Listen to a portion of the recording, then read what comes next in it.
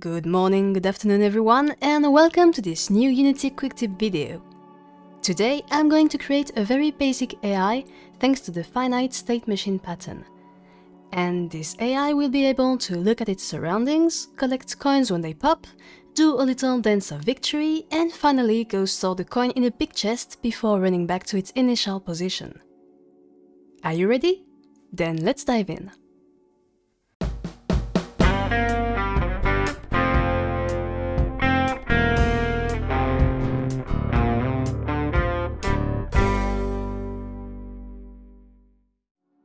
When you develop games, you'll often need to give your characters and monsters a very basic form of intelligence, so that they can patrol around, chase your hero, or even mimic more complex human behaviors and replace a real opponent during training. Over the years, people have invented lots of architectures to simulate this artificial intelligence that each have their advantages and drawbacks. Today I'm going to focus on a well-known AI pattern, the finite state machine, or FSM. Roughly put, FSMs work as follows. You have a finite set of states that your entity can be in. You define transitions to switch between those states that can be triggered in various ways. And so the entity has an active state that is initialized to a default state and can then change throughout its lifetime thanks to the transitions.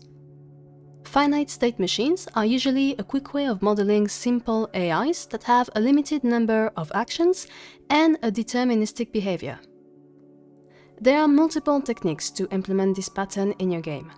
For example, you can create one C-sharp class per state and encapsulate all the logic and the data relevant to this state in this class.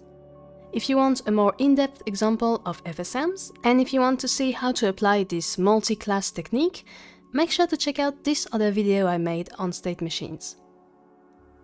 But when your AI is really simple, like this one, you can actually stick with just one class and use an enum to define your different states. Then you just need to keep the current state in a variable, set it to the default state at the beginning and check what your current state is in the update to know what logic to run. Here, let's say my character has three possible states. First, the idle state.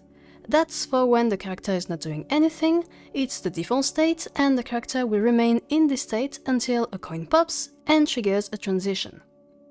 Then, if the character finds a target, be it a coin, the chest or the initial position, it will enter the move to state and aim at that target until it's reached it.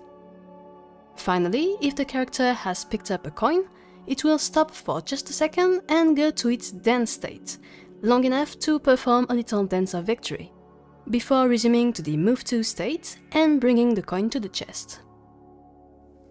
So, by the way, this means that I have two types of transitions, conditional and unconditional. For example, going from idle to move to is conditional. It will only happen if there is a coin in sight. But going from dance to move to is unconditional. The state machine will simply wait for the time of the dance animation. Also, the only difference between moving to a coin, the chest or the initial position is what happens at the very end of the move, when the character reaches the target. So we can actually prepare a global logic for all these moves and use a C-sharp delegate to handle the specific logic when we reach the target. Then, to move my character, I need a reference to its character controller component. I'll also add a reference to its animator so that I can switch to another animation along with my FSM state. If you want to learn more about animations and animators, you can take a look at this tutorial I made recently on how to animate a Mixamo character in Unity.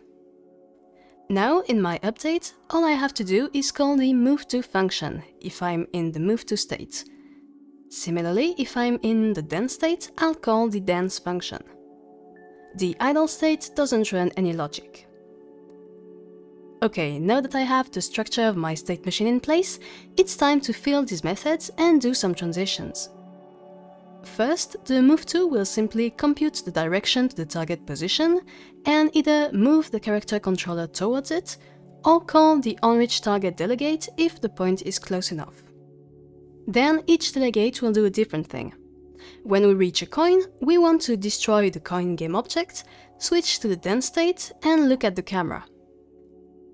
When we reach the chest, we want to increase the coin counter, for example using an event from a global UI manager, and aim back for the initial position.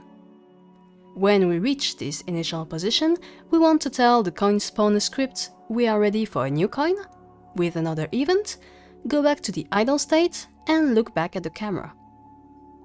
Finally, in the dance method, I'll have a little counter that checks whether I've exceeded the duration of the dance animation. In my case, this animation lasts just over 2 seconds, and when this delay has elapsed, I need to switch back to the move to state and go to the chest.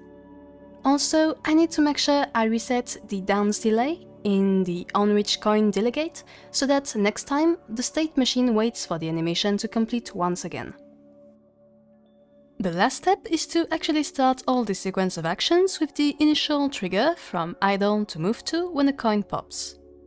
To do this, we can use a sphere collider to define the character's field of vision, set it to be a trigger, and then, back in our script, use the onTriggerEnter built-in function to start all of our logic. And here we are. We now have a very basic AI that, thanks to the power of finite state machines, can auto-collect coins and do little dances of victory. Pretty cool, right? I hope you enjoyed this short Unity tutorial. Make sure to like and share it if you did. And also, you can subscribe to the channel and notifications to not miss the next ones. And of course, I am looking forward to your comments for new ideas of tutorials. If you want to discover more of my content, make sure to check out these two videos I made recently. As always, thanks a lot for watching, and stay tuned for more videos on coding and games.